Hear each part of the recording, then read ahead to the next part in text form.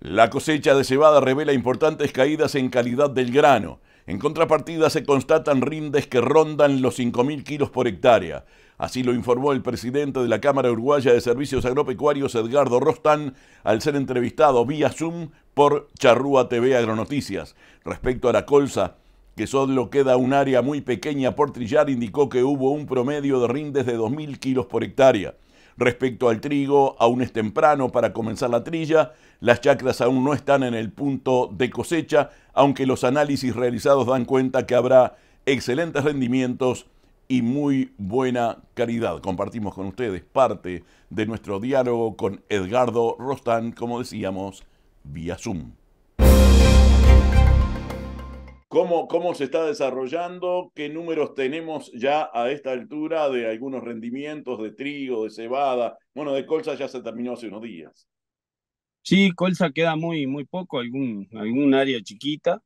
Eh, fue el cultivo, bueno, que se arrancó primero lo que es cosecha, ya en la zona del norte, Paysandú, Tacuarembó, y bueno, la verdad que había arrancado floja, fue de más, de menos a más. Este, hoy las colzas que se están cerrando en estos días, eh, está todo por encima de 2.000 kilos, eh, o sea que es un rendimiento interesante, este, en promedio, ¿no? Obviamente, ¿no? Como siempre hay excepciones para abajo para arriba. Eh, estábamos en, en, plena cebada, la que sí nos ha dado dolores de cabeza porque... por un lado, cultivo excelente, todos caídos, planchados, en algunas zonas donde había caído agua revolcada, este, también con encima de, en general, de 5 o 6 mil kilos, es muy común hablar de rendimientos cebada cerrada en, ese quilaje, este, sí con problemas de, calidad, ¿no? Eh, por un lado, problemas de proteína, por otro lado, problemas de tamaño de grano, de primera más segunda.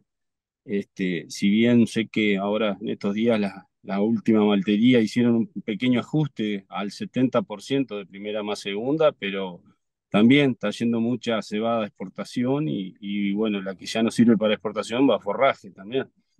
Este, estamos intentando con los trigos, en lo que es acá en mi zona sur, o sea, Soriano, Colonia, eh, San José, estamos haciendo pruebas.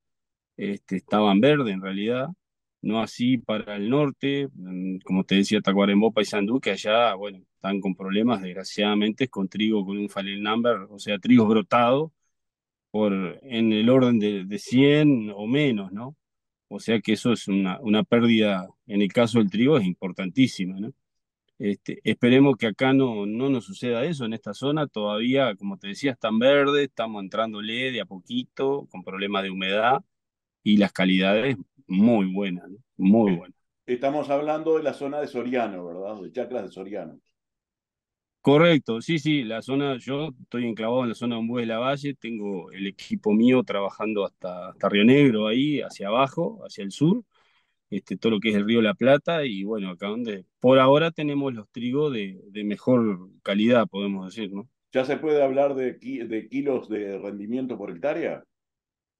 Y en el caso del trigo, yo creo que no, no, no me, no me aventuraría, ¿no? Este, porque no es, no es fácil, este, ya te digo, nos preocupa más calidad de trigo, que si bien kilos sí también, pero, pero en general eh, no podemos pensar ningún cultivo menos de 4.000 kilos, ¿no? Por decir un número, si queremos poner la frutillita de ahí para arriba, ¿no? Este, hay, hay chacras que, que, bueno, que las cosechadoras este, dan las balanzas de las máquinas y los mapeos dan encima de 7, 8, ¿no? Están dando, pero esperemos cerrar y ahí podemos hacer alguna cuenta. Muchísimas gracias, Eduardo. Eh, un abrazo y bueno, que todo siga como, como bien está hoy. Si Dios quiere, gracias, muchas gracias y vamos arriba.